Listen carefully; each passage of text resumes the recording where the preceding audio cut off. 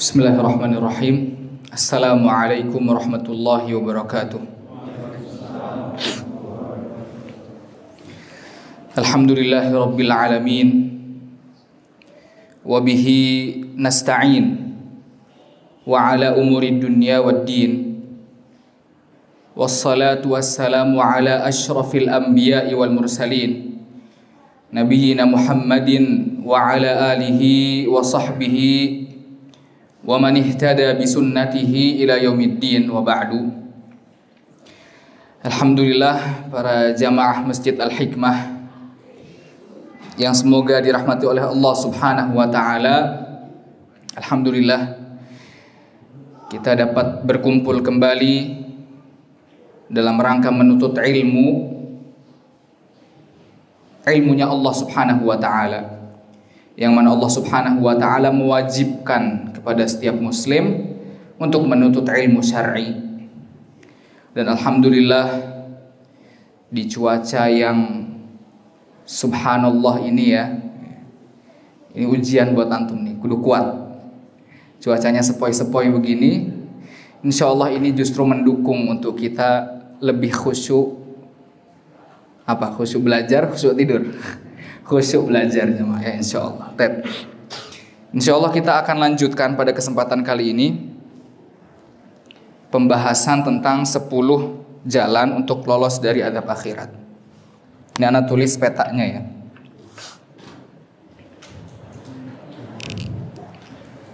Sepuluh jalan untuk lolos dari akhirat. Dari adab akhirat.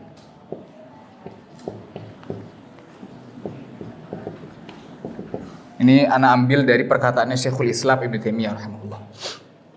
Yang pertama, jadi ini ada tiga di dunia, tiga jalan di dunia. Yang pertama, ada yang masih ingat? Taubat. Jalan yang pertama untuk lolos dari adab akhirat adalah taubat di dunia. Yang kedua adalah musibah-musibah. Yang ketiga, kebaikan menghapus keburukan.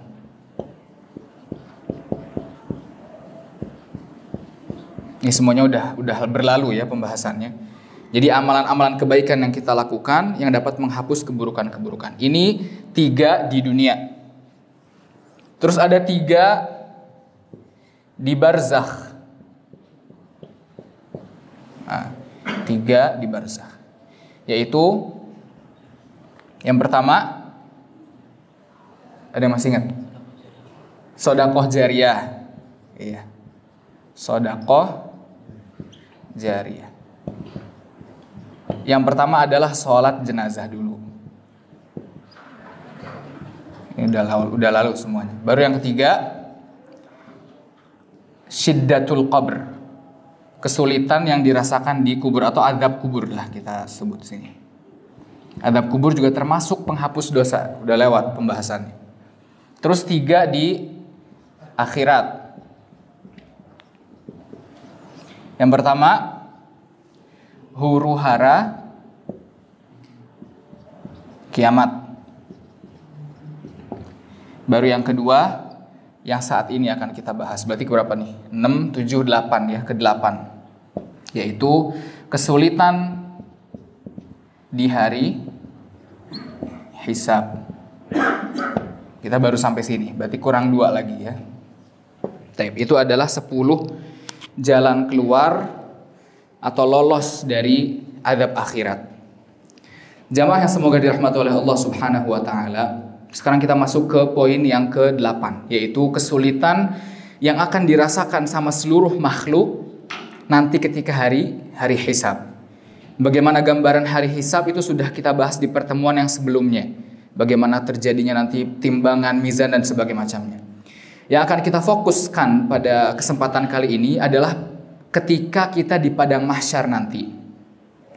Jadi kesulitan-kesulitan nanti di padang mahsyar jamaah itu akan menghapus juga, menggugurkan dosa-dosa kita dan kalau misalnya selesai dosa-dosa kita di padang mahsyar, maka insya Allah akan terhapus dosanya. Dan kita akan masuk surganya Allah Subhanahu wa taala biiznillah. Antum bayangin dulu, bayangin. Matahari padang mahsyar berapa jaraknya? Satu, satu mil. Satu, satu mil. Yang sebelumnya berapa? Jarak matahari 90 juta mil. Sebelumnya matahari 90 juta mil, sekarang satu mil. Antum bayangin dulu aja nggak apa-apa. Boleh nggak ngebayangin? Boleh, nggak apa-apa. Sengaja Rasulullah SAW memberikan permisalan seperti ini biar kita bisa membayangkan. Cuman kita harus yakin bahwa bagaimanapun itu yang kita bayangkan karena kita belum merasakannya. Pernah nggak kita ngerasain matahari satu mil? Enggak. Maka kita harus yakin apa pun yang kita bayangkan maka lebih dahsyat nanti. Belum seberapa dibandingkan azab pada hari tersebut. Tapi boleh kita bayangkan. Bayangin dulu aja antum. Antum berdiri, matahari satu mil di kepala antum. Itu bagaimana panasnya, bagaimana haredangnya, ya, bagaimana hausnya. Dan antum tahu kan ada yang keringatnya selutut, ada yang tenggelam dan sebagainya macamnya. Itu mataharinya satu mil. Bayangin aja dulu. Subhanallah. Terus berapa lama antum di padang mahsyar jemaah? Berapa lama? Udah pernah lalu ini sering diulang-ulang. 50 ribu tahun. Bayangin dulu aja, antum umurnya udah berapa lama nih? Udah berapa puluh tahun? Ini 50 ribu tahun. Makanya tadi di sebagaimana disampaikan oleh khotib Jumat kita tadi ya, bagaimana nanti di hari kiamat para manusia itu pengen buru-buru diselesain nih masalah ini. 50 ribu tahun matahari semil. Uh, panasnya gimana? Hausnya gimana itu? 50 ribu tahun jamaah. Makanya pengen buru-buru. Bagaimana mereka pergi ke para nabi akhirnya minta ke Rasulullah SAW untuk diselesaikan masalah itu. 50 ribu tahun. Eh tahu-tahu jamaah. Ada orang-orang yang masuk ke suatu naungan. Di naungan itu cuacanya beda sama di luar naungan. Di naungan itu cuacanya sejuk, enak, nggak kerasa panas sama sekali. Bahkan orang-orang yang masuk situ ahli iman semua. Antum dikelilingi ahli iman, subhanallah. Enak, beda sama yang di luar. Dan orang-orang yang masuk ke dalam naungan tersebut, kerasa hari kiamat pada masyar bukan 50 ribu tahun. Sebentar, cuman serasa kayak asar atau duha saja. Nah itu yang akan kita bahas pada kesempatan kali ini insya Allah. Naungan itu apa? Apa naungan itu? Enggak, yang mas dimaksudkan di naungan di hari mahsyar itu apa? Ada yang tahu? PR buat antum semuanya. Sekali-kali anak kasih PR lah ya. Apa itu naungan nanti di hari kiamat? Tep. Nah, kita akan bahas hadisnya jemaah. Ini kita pembahasan kita fokus ke hadis yang ini. Jadi minimal nih jamaah 50 ribu tahun antum sepanas itu matahari satu mil. Jangan mau antum disiksa seperti itu. Antum harus masuk ke naungan ini. Ini hadisnya sahih ya, riwayat Bukhari dan Muslim. Rasulullah Shallallahu Alaihi Wasallam bersabda, sab'atun yudhilluhumullahu fi dhillihi yawma la dhilla illa dhilluh ada tujuh golongan yang Allah Subhanahu wa taala masukkan mereka ke naungannya Allah pada hari yang mana tidak ada naungan kecuali naungannya Allah, yaitu pada padang mahsyar tersebut. Jadi antum usaha semaksimal mungkin minimal nih bisa ke naungan tersebut. Jadi kita akan bahas kriterianya. Antum bebas milih mau ke kriteria yang mana. Bebas. Minimal tapi antum harus bisa semaksimal mungkin masuk ke naungan tersebut. Yang pertama, ini ada tujuh golongan ya. Sab'atun yudhilluhumullahu fi dhillihi yawma la dhilla illa dhilluh. Yang pertama, imamun adil. Imam yang adil. Yang adil. Imam ini maksudnya pemimpin. Pemimpin yang adil. Yang kedua, ada yang tahu? Imamun adil. Syabun. Nasya'a fi ibadatillah. Apa itu? Anak muda. Anak muda yang tumbuh dalam beribadah kepada Allah. Dalam ibadah. Syabun nasya'a fi ibadatillah. Terus yang ketiga, Ada yang tahu? Iya betul.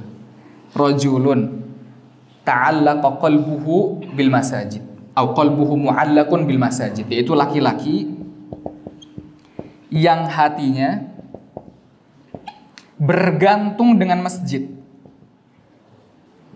Selalu rindu sama masjid ya. Terus yang keempat rajulani tahabba fillah ijtama alaihi waftarqa alaihi. Dua orang yang saling mencintai karena Allah.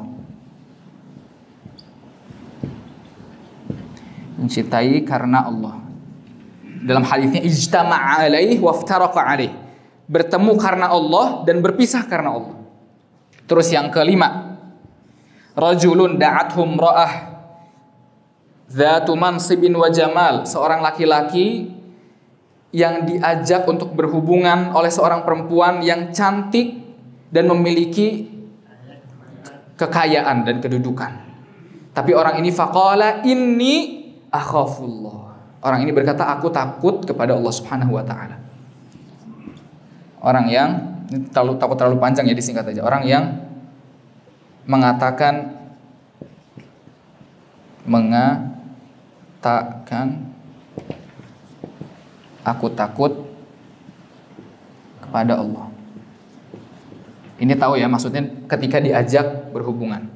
Lalu yang keenam yaitu seseorang yang warajulun allati tasaddaqa bi sadaqatin. Yang bersedekah akan tetapi tangan kirinya tidak tahu apa yang disedekahkan oleh tangan kanannya.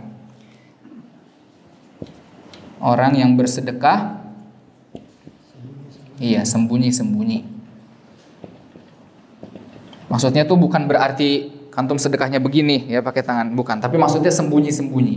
Biar nggak dilihat sama orang lain. Sodakotus sir. Lalu yang terakhir adalah orang yang yang menangis karena Allah warojulun e, menangis kita harus lengkap ini ya warojulun dakarullaha khalian orang yang mengingat Allah Allah dalam kesendirian kesendirian fafadat ainah ya sambil menangis. Nah, ini adalah tujuh golongan yang minimal antum harus usahakan atau mengharap Allah Subhanahu wa taala untuk masuk ke golongan-golongan ini. Dan ana ana katakan sama antum, ana bukan berarti orang yang paling enggak Bahkan anak ditakutkan. Bisa jadi anak ini termasuk orang yang nggak sesuai sama apa yang anak sampaikan. Makanya anak berharap sama Allah Subhanahu wa taala biar antum semuanya bisa lebih baik daripada anak dalam beramal ini. Gitu ya. Makanya bagaimanapun caranya antum ketika ber, menuntut ilmu harus terus curiga sama diri sendiri. Ini kira-kira anak menuntut ilmunya ikhlas nggak karena Allah? Jangan sampai ada alasan lain selain Allah, jangan. jangan. Nanti sia-sia ilmunya, cuma-cuma. Dan ini sering terjadi, bahkan anak kecil jamaah, anak sering, anak ngajar, anak SMP. Anak kasih tahu, anak nasihatin, ini nggak boleh kayak gini, hukumnya kayak ini, kayak gini. Kata anak ini, Ustaz, tapi si Fulan kayak gitu, Ustaz. Nah, berarti dia beramal karena si Fulan. Anak bilang, antum beramal karena Allah apa karena si Fulan? Karena Allah Ustaz. Ah, betul. Kalau misalnya si fulan masuk neraka, apa antum mau masuk neraka? Enggak Ustaz. Ah, gitu. Karena antum punya jalan sendiri. Walau hatta misalnya antum mengetahui suatu ilmu wal billah. Mengetahui suatu ilmu dari seseorang. Ternyata seseorang ini beda jalannya. Dia langsung naudzubillah min dia masuk ke jalan orang-orang yang bermaksiat. Apakah antum juga mengikuti dia? Ya tidak. Karena antum beramal karena siapa? Karena Allah Subhanahu wa taala. Makanya anak akan menyampaikan ya, di balik selain dari amanah amanah ilmu, ini juga anak berharap agar antum semuanya bisa berkumpul barang-barang kita di bawah arsnya, zilnya Allah Subhanahu wa taala ini. Taib. Jamaah yang semoga dirahmati oleh Allah Subhanahu wa taala, pertemuan kali ini kita akan fokus ke yang ini dulu, yang ketujuh. Yaitu orang yang mengingat Allah dalam kesendirian sambil menangis. Jadi ini ya fokus kita yang ketujuh dulu. Nah, ini ternyata nggak sesepele yang kita baca. Orang yang mengingat Allah dalam kesendirian sambil menangis sudah selesai nggak kayak gitu. Poin yang ketujuh ini ada syaratnya. Ada apa? Syarat. Syarat yang pertama, ini kan orang yang mengingat Allah dalam kesendirian sambil menangis. Syaratnya ini, yang pertama orangnya mengingat Allah. Zikrullah atau lillah gitu ya. Air matanya karena karena Allah dan karena mengingat Allah. Para ulama jamaah menyebutkan ada tujuh macam air mata. Dan hanya ada satu macam air mata yang karena Allah. Yang masuk ke tujuh kriteria ini. Cuman satu air mata. Tapi yang pertama syaratnya adalah antum harus takut karena Allah atau air matanya karena Allah. Bukan karena selain Allah.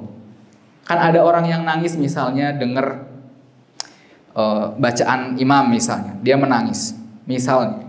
Atau dia nangis karena mendengar nasihat di muhadharah. Tapi kita lihat dulu nangisnya karena Allah bukan. Ada yang nangis karena kehilangan barang misalnya. Ada yang nangis karena apa? Karena kehilangan sanak saudara. Ada yang menangis karena Hah? Kabogo gagal move on misalnya ya. Ini orang kalau lagi sholat nangisnya karena misalnya ayat azab atau ayat rahmat ini pas imamnya baca at-talaqu marratan dianya nangis apa arti at-talaqu talak itu dua kali. Dia nangis orang lain kenapa nangis? Oh gagal move on nih orang. Nggak nggak umum nangisnya di ayat talak gitu kan. Tem ya dan masih banyak lagi ya sebab-sebab orang menangis Nah itu nggak termasuk kepada menangis yang di poin yang ketujuh. Menangisnya yang pertama harus karena Allah Subhanahu Wa Taala. Lalu yang kedua, ini yang pertama ingat-ingat ya, harus karena Allah, bukan karena bahkan kayak gini, bahkan ada orang yang dia itu mudah ke bawah suasana.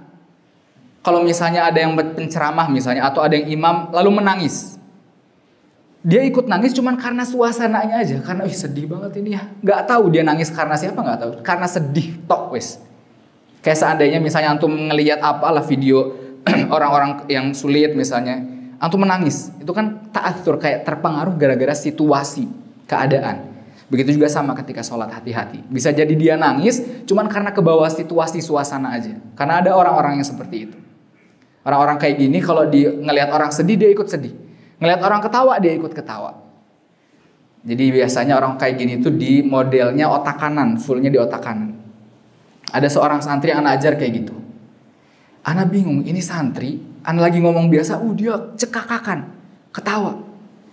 Ana langsung datang ke bagian psikologi, ada ada bagian BK-nya di situ ahli psikologi. Ana tanya, Mas ada gini gini gini. Oh itu otak kanan. Yang dia ketawain itu bukan materinya. Apanya?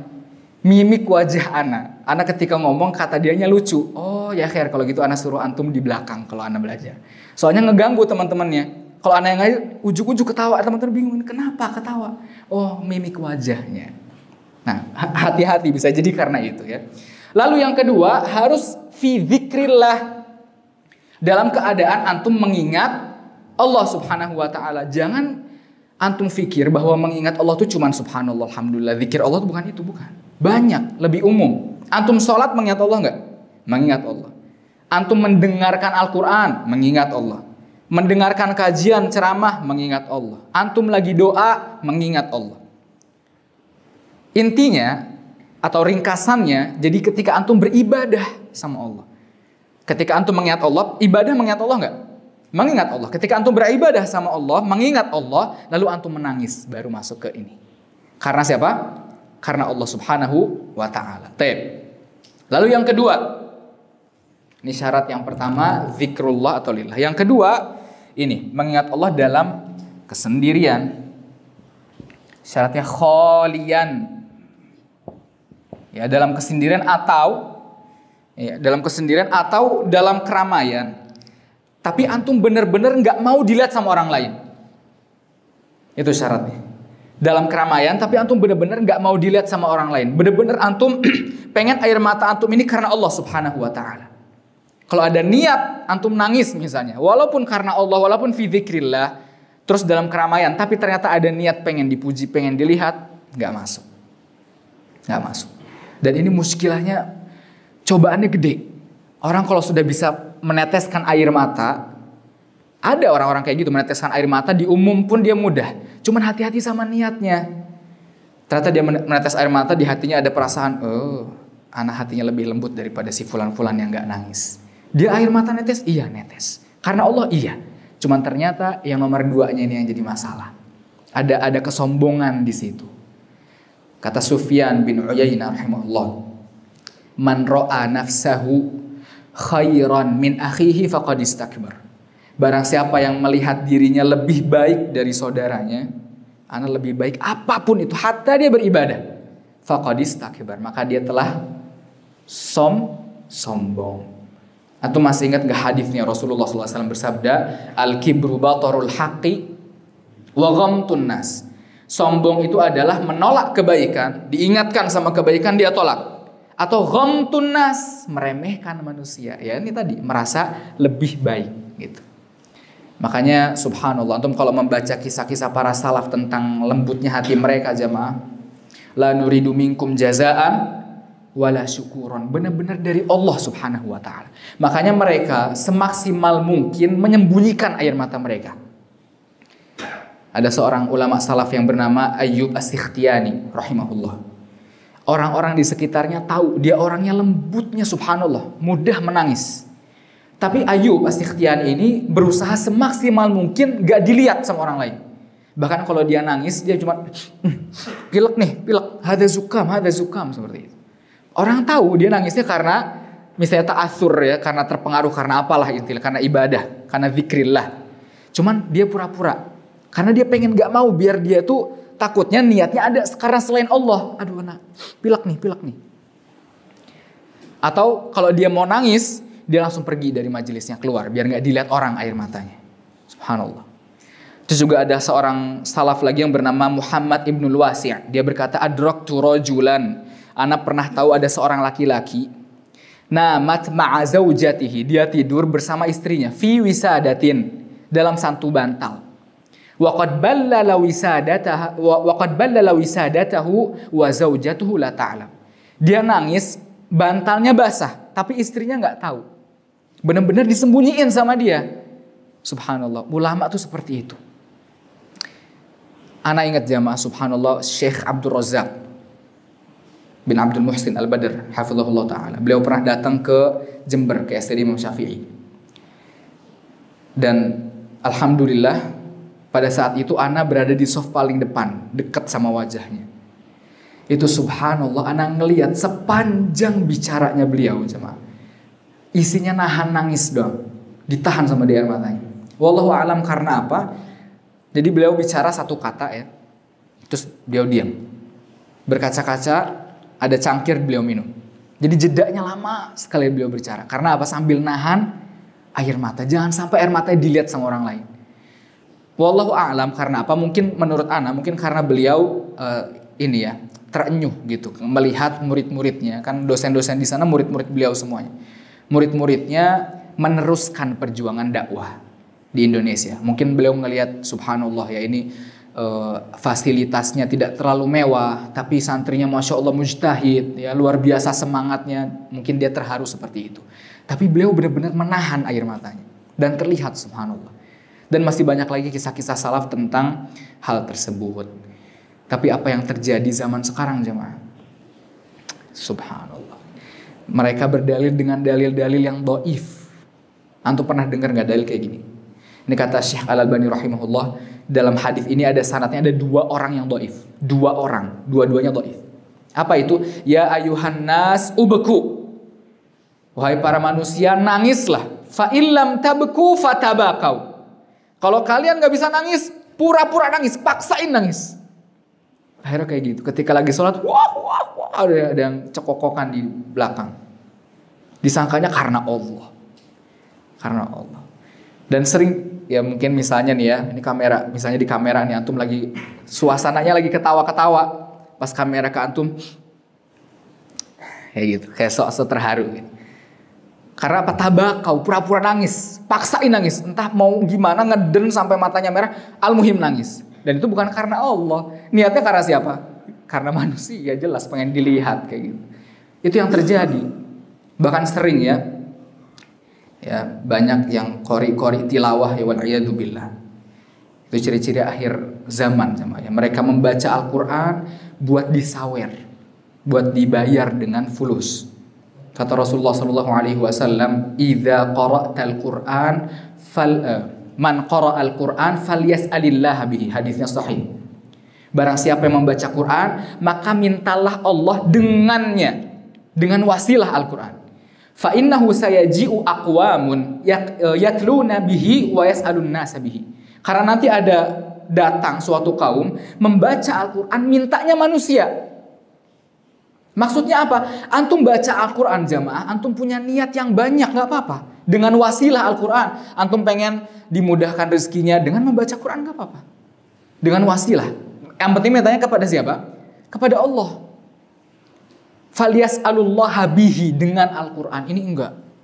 Pengen dibilang, wah, akhirnya baca, terus Allah, pada nangis-nangis yang dengar. Itu anak ya Allah, ini drama apa bagaimana? Orang dengar Al-Quran kok kayak gitu.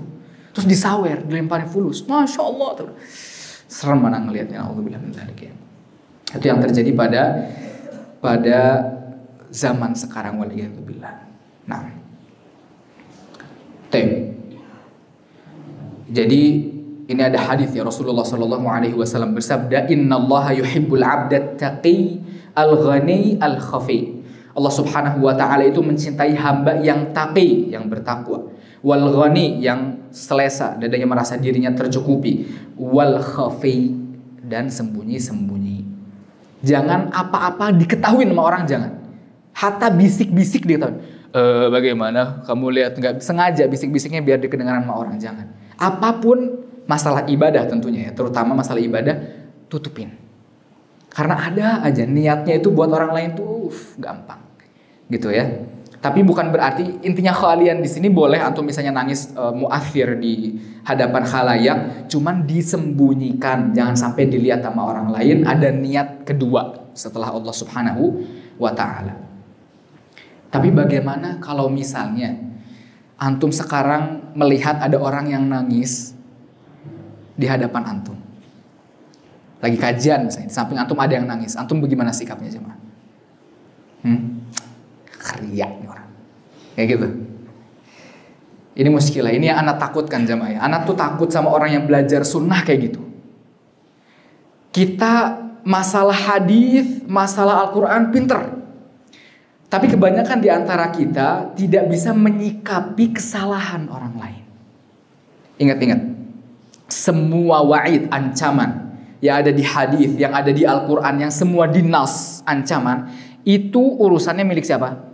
Allah Subhanahu wa taala. Jangan kita ini riak nih, ah ini masuk neraka, nggak boleh kayak gitu. Pernah ada pertanyaan, Ustaz, kalau misalnya ada orang yang beramal begini-begini, dia masuk neraka nggak? Jawabannya gimana? Ini ada santri ngomong kayak gitu, Ustaz, kalau ada orang yang begini-begini-begini, misalnya maksiat ya, dia mencela orang tua, terus dia mencuri, masuk neraka nggak?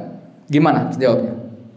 Oh masuk neraka apa yang terjadi kalau misalnya dijawab kayak gitu dia tunjukin video Ana ke temannya.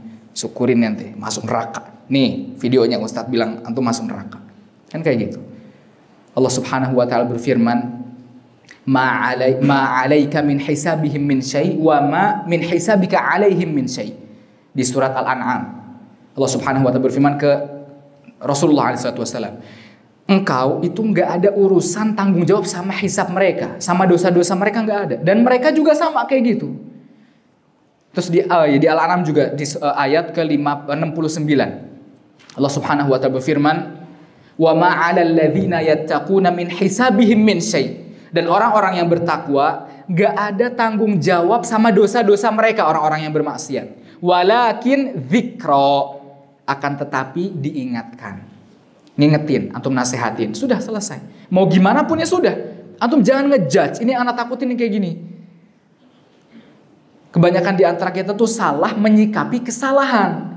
Ada orang yang salah, Weh, langsung didiamin, langsung dibenci ini. Jangan, jangan seperti itu. Ya sudah, kalau misalnya ada orang yang seperti itu, ya husnudzon ya sudah. Urusan dia sama Allah. Kalau misalnya dia ria, ya sudah ria. Urusan dia sama Allah dan sebagainya macamnya. Taib. Jamaah yang semoga dirahmati oleh Allah Subhanahu wa taala. Jadi ini ya, menangis karena Allah Subhanahu wa taala syarat yang kedua. Dan ini menangis ini karena Allah Subhanahu wa taala hatta air mata jamaah itu tuh mahalnya luar biasa. Para salaf tuh berburu air mata karena takut kepada Allah Subhanahu wa taala. Kata Abdullah bin Umar radhiyallahu anhu li an ad ma'a min khasyatillah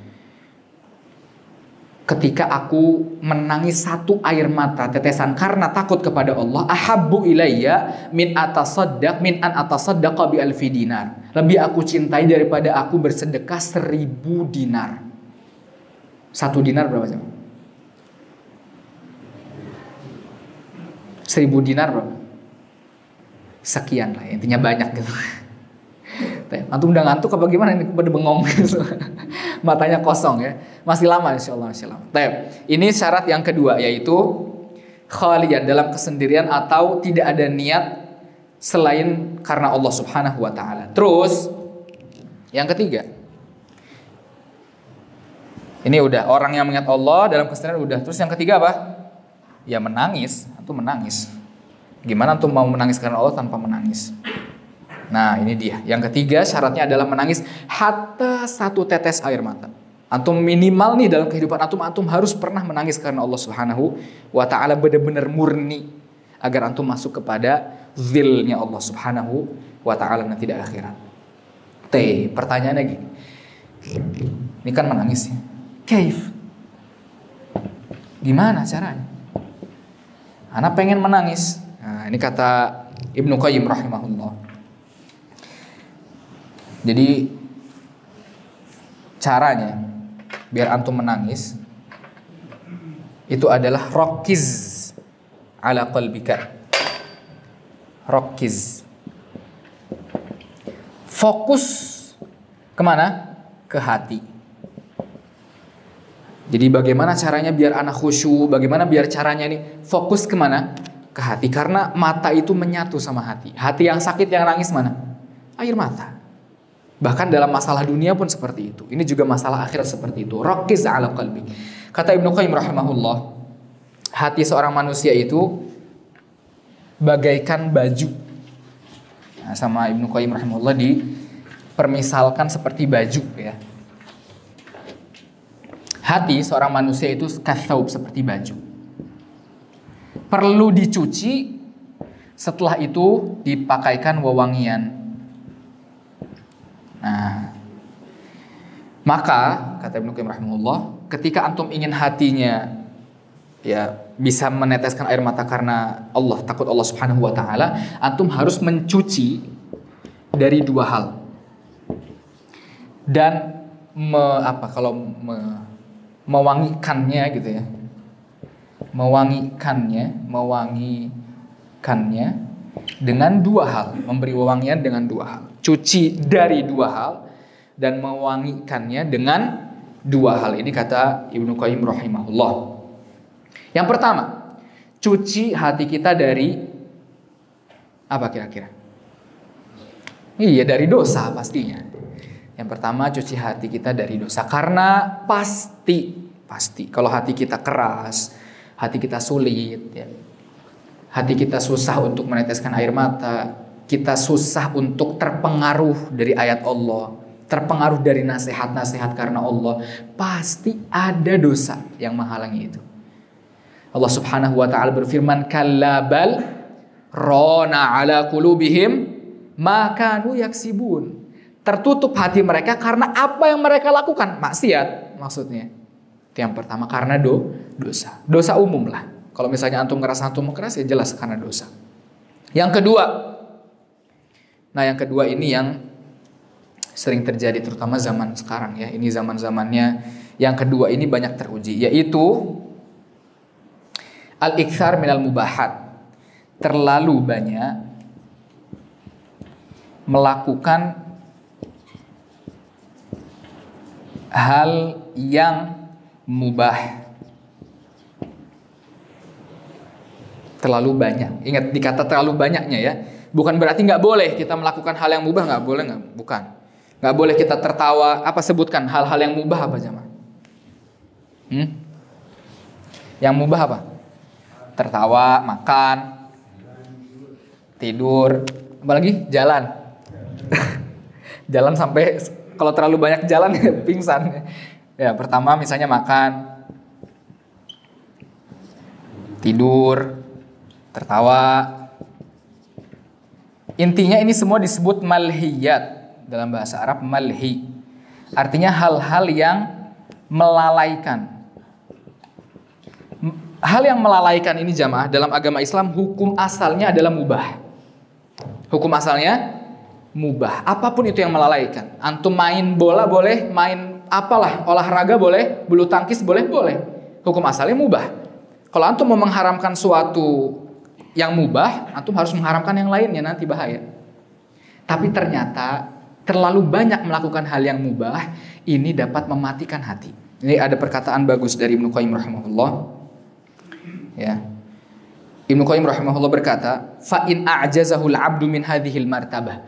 Kalau syaitan udah nggak bisa mengangkat seorang hamba ke posisi ini. Maksudnya posisi di sini dalam konteks ini adalah posisi syirik, bid'ah dan dosa-dosa besar. Kalau syaitan udah nggak bisa ini hamba nih nggak bisa dibawa berbuat syirik. Ini hamba nggak bisa berbuat dosa besar, nggak bisa buat bid'ah. Apa yang terjadi sama syaitan diapain? Kata Ibnu Qayyim rahimahullah, naqalahu ilal martabatil khamisah. Sama syaitan dipindahin ke rencana ke posisi yang kelima, yaitu apa? Wahya isghaluhu bil mubahat dibuat orang itu sibuk dengan hal-hal yang mubah. Ya, allati la thawaba fiha wa la iqab. Yang orang-orang kalau melakukan hal yang mubah, difikirnya nggak ada thawab, nggak ada pahala dan nggak ada hukuman. Kita ngelakuin yang hal mubah gitu kan, ya sudah mubah, nggak ada dosa, nggak ada pahala, mubah. Ikut dilakukan nggak apa-apa. Akhirnya apa? Bal aqibatuha akan tetapi konsekuensinya fautus thawab alladhi dha'a alaihi bin syighalihi biha. Yaitu orang itu akan terluputkan dari pahala-pahala.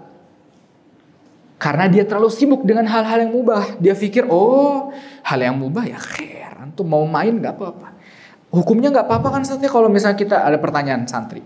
Kita main game tapi sholat tetap Ya jangan kayak gitu. Ini isyrol bil mubahat. Justru itu kalau kita bilang boleh, nah yang jadi muskilah itu kejebak sama syaitan antum. Sengaja sama syaitan antum biar ah, udah nggak apa-apa. Hal yang mubah boleh, yang penting nanti merembet itu pasti merembet. Tadi di khutbah Jumat dijelasin. Ni'matani. Ada dua nikmat, maghmudun fihi ma minan nas. Yang para manusia tertipu. Ini dua nikmati penipu nih jemaah. Apa itu?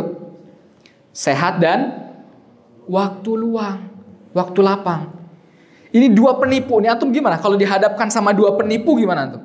Waktu luang kan penipu. Kalau kita bilang, oh ya boleh antum main sampai kakinya sampai jontor, kakinya bengkak, sholat yang penting sholat. Ya nggak bisa. Sama syaitan digampangin. Nggak usah sholat. Pasti merembet, pasti sholatnya nggak bakal ketinggalan. Jangan. Muskilah malhiyat seperti itu. Ini bener-bener trik paling mujarabnya syaitan paling tokcer di zaman sekarang. Soalnya zaman sekarang waktu kosong tuh banyak, apalagi sekarang lagi zamannya lagi waktu-waktu liburan atau waktu-waktu belajar online. Akhirnya dimudahin sama setan kayak gini. Maghbunun fihi ma. Antum kalau di hadapan penipu gimana jamaah? Antum pasti punya siasat kan? Ini penipu nih. Antum udah tahu ini penipu, harus buat siasat. Anak pernah ditelepon. Belum lama ini ditelepon sama orang ngaku dari bank. Anak pakai bank bank itu, anak termasuk nasabah bank itu uh, bisa tahu nama anak. Nama antum fulan fulan fulan lokasi di ini ini nih. Oh iya benar. Dia nyerocos. Oh kayak kereta api zaman. Jadi orang yang ngedengar oh ini orang berpendidikan nih, masya Allah pinter orang. Jadi kayak yakin kan. Antum nyerocosnya apa? Intinya dia mau ngasih asuransi. Kalau kita tanda tangan, tekan kontrak, terus kita meninggal, nanti keluarga kita dapat fulus 30 juta. Anak mikir ini apa urusannya yang meninggal siapa? Kok ujuk-ujuk dapat fulus 30 juta dari bank? Nyambungnya kagak ada kan? Ini kita punya siasat nih. Terus juga yang pertama nomornya ini nomor biasa. Biasanya kalau orang nomor resmi kan nggak 08 titik kan. Nah, ini nomor biasa. Ah, punya siasat. Terus mikir juga ini kalau jadi intinya kita punya siasat banyak ya. Terus ada aplikasi buat ngetes. Kalau tahu ya, ada aplikasi buat ngecek e, nomor. Jadi nomornya anak anak matiin, anak blokir, anak copy nomornya, anak paste ke aplikasi itu muncul. Ada yang bilang jangan diangkat ini spam, jangan diangkat ini penipu kayak gitu. Ah, siasat. Begitu juga dua penipu ini nih, maghbunun fihi makathirun minan nas. Wal faro. Bukan berarti nggak boleh ingat. Jadi jangan antum sangka bahwa orang yang belajar agama tuh pasti nggak seru. Sampai anda pernah uh, sering ya kita lihat judul kajian, maaf aku tidak seseru dulu lagi gitu. Jadi kesannya kayak ketemu kayak gak pernah ada bahan cerita tuh nggak ada senyum kagak pernah nggak aja mah. Lah udah waktunya adzan ya. Nah para sahabat itu di luar waktu sholat ya. Para sahabat itu pernah dalam Sahih Bukhari zaman.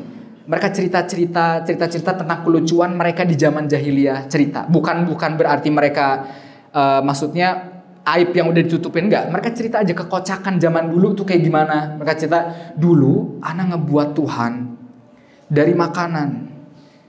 Tuhan nih, anak sembah. Tapi kalau anak lapar, anak makan. Wow, ketawa bareng-bareng. Di Sahih Bukhari diceritain kayak gitu. Ketawa di masjid nggak apa-apa. Cuman jangan di waktu sholat. Maksudnya, ya itulah orang belajar agama Islam tuh kan berarti wah serem gitu enggak jamaah ya. Tep, stafadol adzan terlebih dahulu.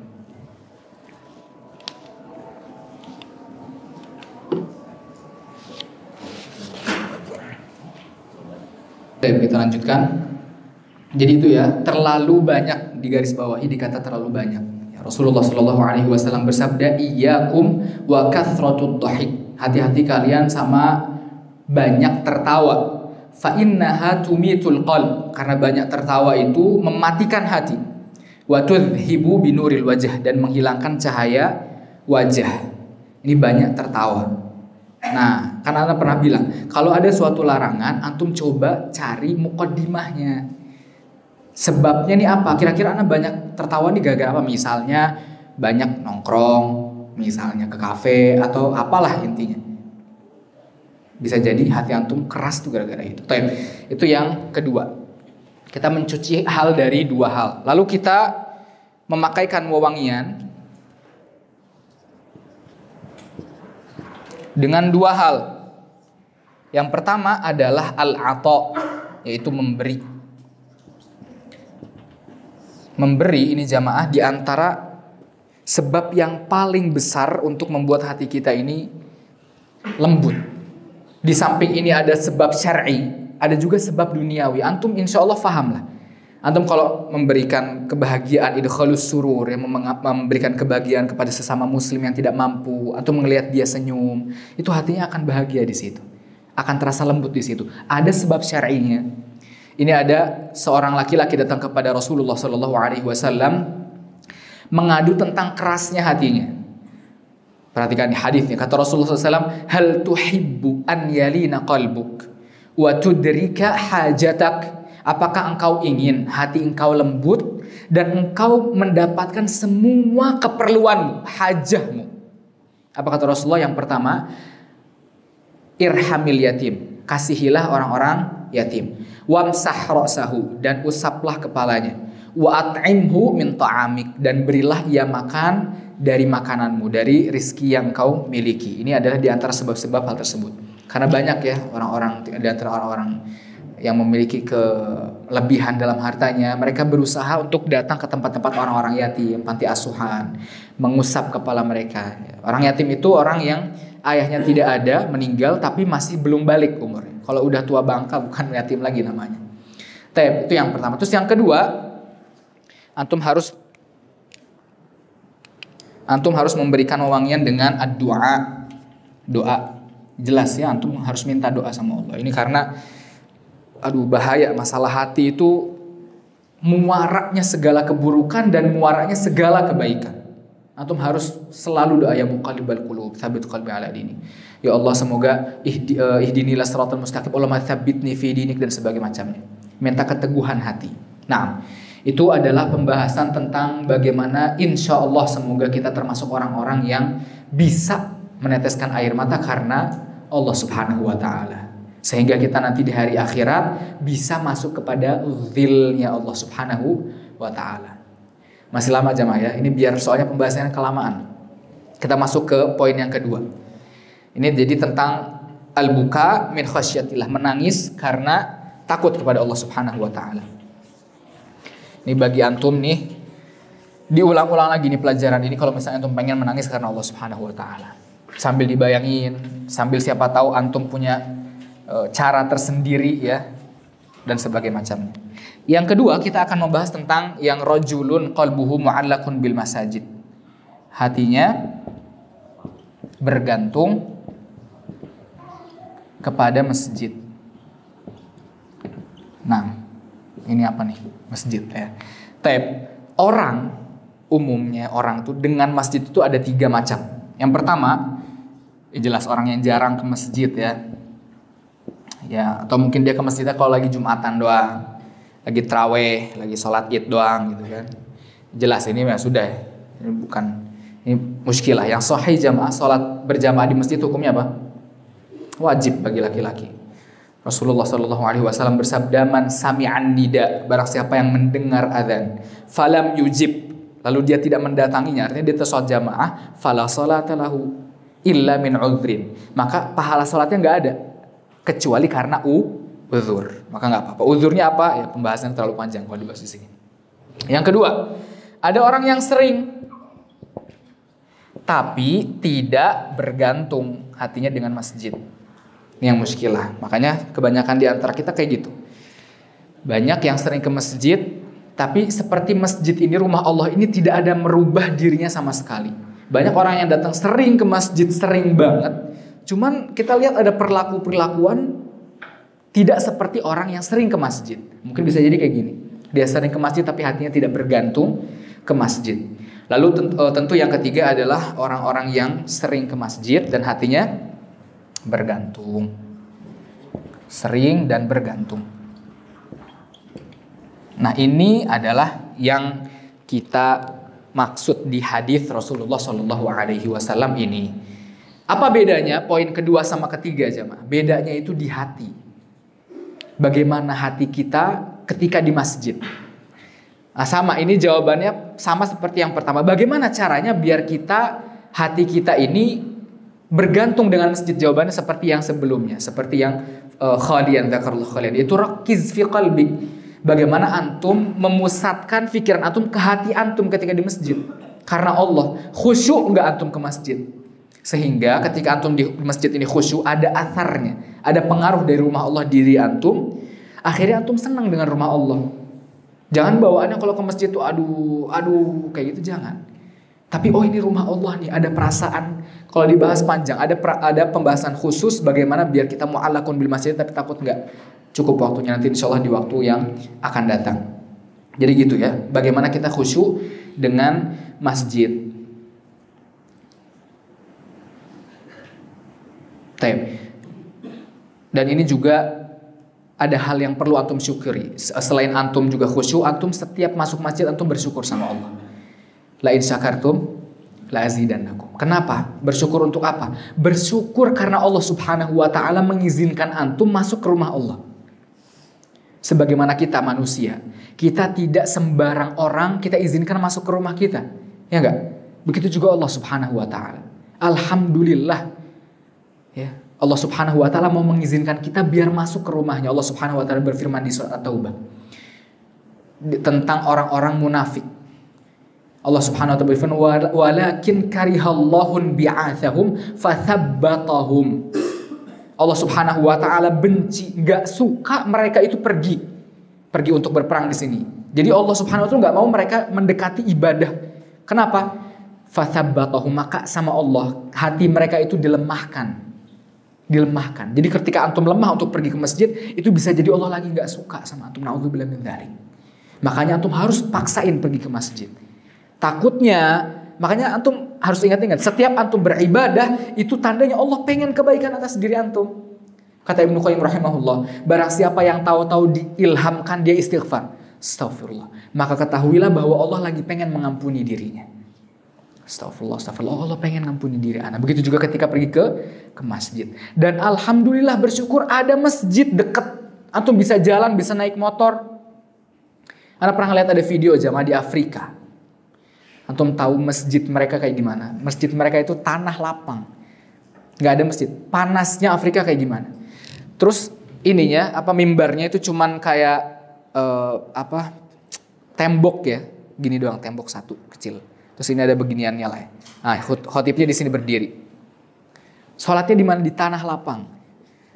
Tahu-tahu ada seorang mutabari, orang muhsinin ya, yang pengen uh, menyumbang masjid.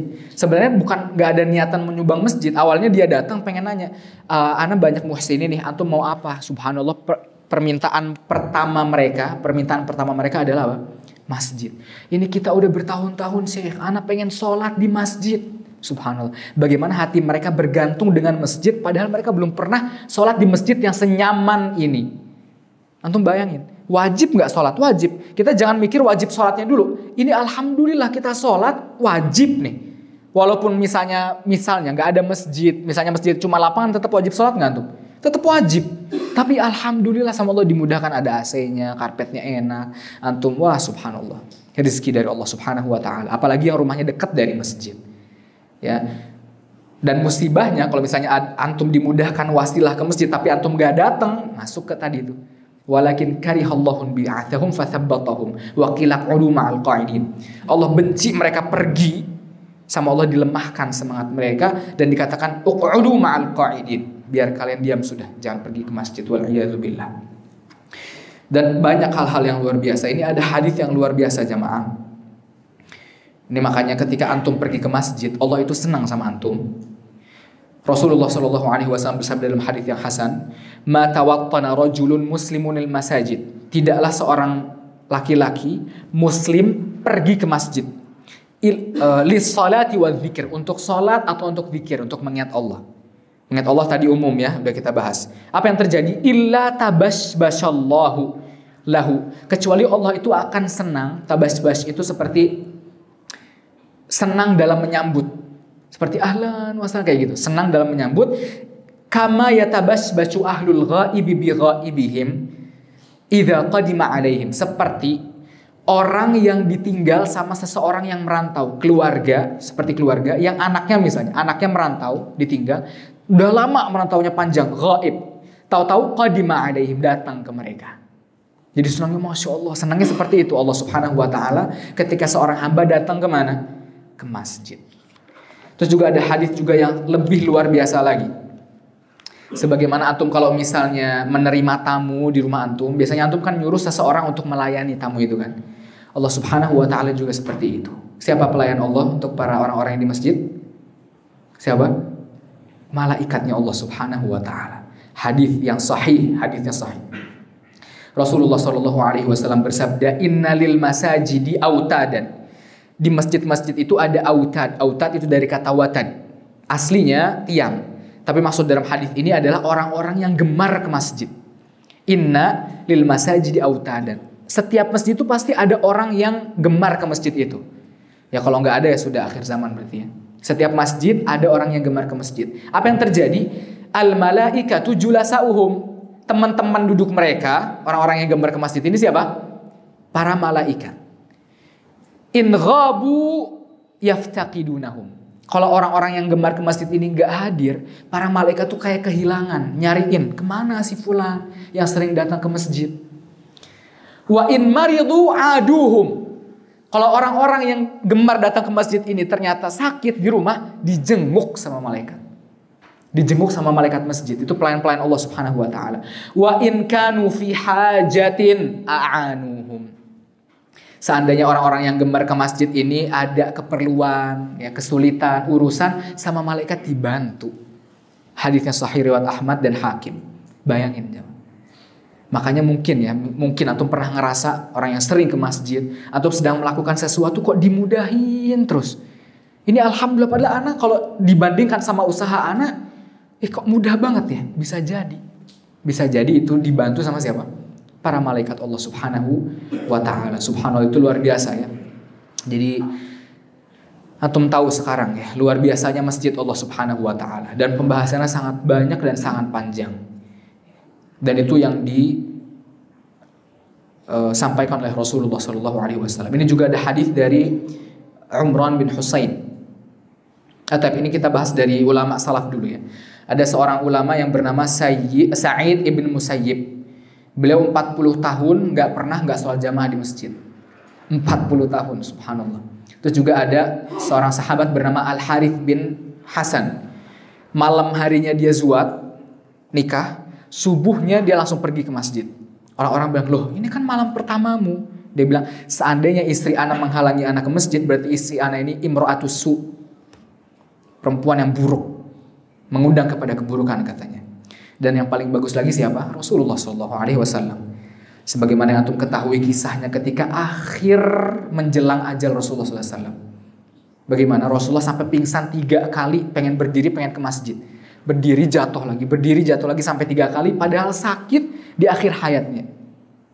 Rasulullah Shallallahu Alaihi Wasallam sampai kata Aisyah radhiallahu anha ketika Rasulullah nemu kekuatan sedikit baru berdiri ke masjid seakan-akan kayak digendong sama dua orang datangnya jalan Rasulullah SAW pergi ke masjid dan masih banyak lagi kisah-kisah tentang sahabat-sahabat dan uh, para salafus salih tentang hal tersebut. Terus juga ada pertanyaan bagaimana dengan perempuan? Apakah perempuan nggak bisa mendapatkan keutamaan itu? Luar biasanya mereka dibantu sama para malaikat dan sebagainya macamnya. Jawabannya bisa. Bagaimana caranya? Dengan mendorong orang-orang keluarganya untuk melaksanakan sholat ke masjid jamaah. Anak-anaknya disuruh ke masjid, saudaranya, suaminya, siapa pun itu laki-laki dia suruh ke masjid.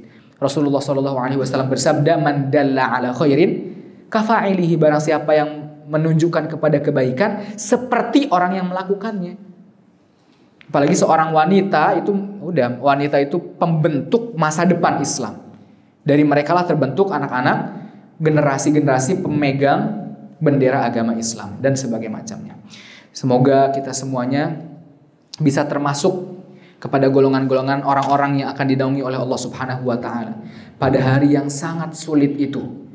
Semoga kita dimudahkan untuk diberikan hati yang lemah lembut oleh Allah Subhanahu wa taala. Semoga kita diberikan rizki hati yang mudah untuk menerima nasihat, menerima ayat-ayat Allah, dimudahkan untuk menangis karena Allah. Semoga juga kita dimudahkan untuk selalu pergi ke masjid, diberi taufik oleh Allah Subhanahu wa taala. Akhiru da'wana kita tutup dengan doa kafaratul majlis. Subhanakallahumma bihamdika asyhadu an la ilaha illa anta astaghfiruka wa atubu ilaik. Assalamualaikum warahmatullahi wabarakatuh.